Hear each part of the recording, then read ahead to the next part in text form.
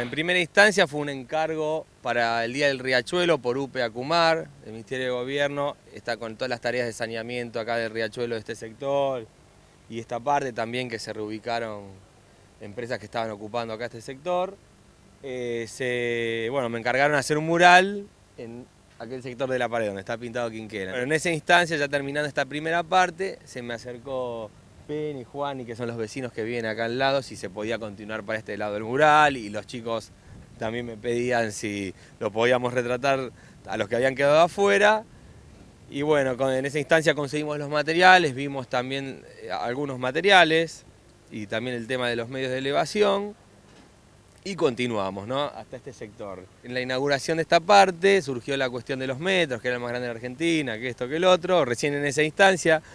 y alguien comentó el tema del récord, este récord que había de unos tantos metros, de 1650, y como estábamos ahí cerca dije, bueno,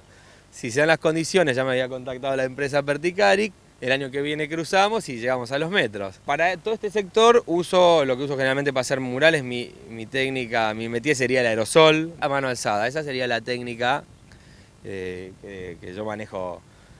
mejor, digamos, con la que hago la terminación de todos estos trabajos. Estamos a full con el proyecto que ya estuvo en el 2015 y bueno, vino creciendo, que es el Bondi Gallery, es mi galería ambulante que tenemos en el Mercedes-Benz 911. Con la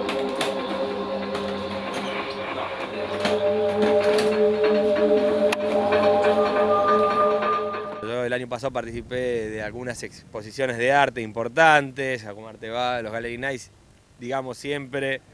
desde el lado quizás de arte urbano, en el, espacio de la calle, bueno, es como una suerte de galería ambulante, si se quiere, en un colectivo. Yo este, siempre digo, soy militante del arte en el espacio público, por eso me gusta pintar y me gusta, eh, digamos, todo lo que tenga que ver con las expresiones artísticas en el espacio público, de en todas sus disciplinas. Me parece que cuando se generan situaciones de ese tipo,